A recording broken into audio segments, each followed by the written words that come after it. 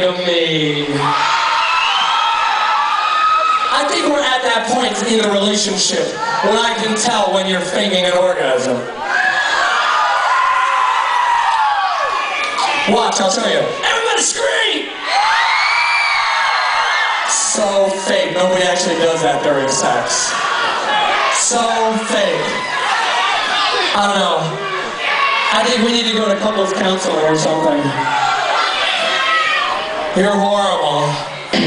I'm cheating on you with lots of other audiences. I just want to let you know that.